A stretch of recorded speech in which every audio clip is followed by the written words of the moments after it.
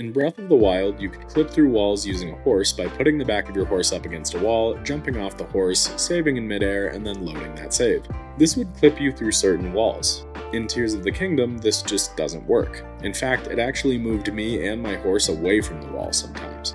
In Breath of the Wild, this only worked on some walls, so it's possible that I just didn't find the right wall in Tears of the Kingdom, but I don't think that's the case. So for now, that puts us at 13 for 40.